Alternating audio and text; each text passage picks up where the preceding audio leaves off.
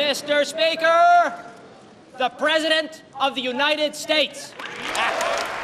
Es ist der politische Start in seine zweite Amtszeit. Applaus und Händeschütteln im Kongress. Es dauert erst einmal, bis Barack Obama seine Rede beginnen kann. Und dann gleich am Anfang zwei Kernsätze. Die Lage der Nation sei besser als noch vor ein paar Jahren, sagt Obama. Und die amerikanischen Soldaten sollten bald aus Afghanistan zurückkehren. Nach einem zermürbenden Krieg kommen unsere tapferen Männer in Uniform endlich nach Hause. Und dann Obamas Ankündigung. In den nächsten zwölf Monaten sollen 34.000 US-Soldaten aus Afghanistan abziehen.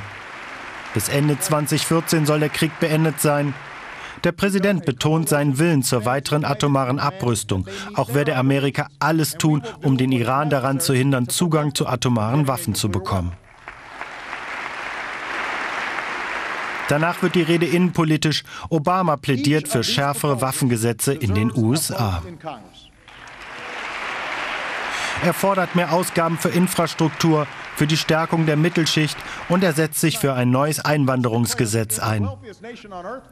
Als Obama sich schließlich dafür ausspricht, das amerikanische Bildungssystem zu reformieren, da erwähnt er plötzlich Deutschland. Ausdrücklich lobt er das deutsche Schulsystem. Die deutschen Kids sind bereit für den Job, wenn sie die Schule abschließen.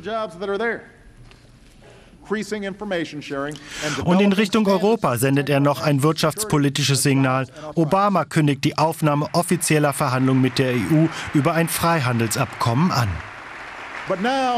Ich kann mitteilen, dass wir eine umfassende transatlantische Handelspartnerschaft mit der Europäischen Union anstreben. Ein fairer Handel schützt Millionen guter amerikanischer Arbeitsplätze. Große Worte, großer Applaus und am Ende vor allem eine Botschaft. Barack Obama hat sich viel vorgenommen für seine zweite Amtszeit und er will für seine Ziele kämpfen.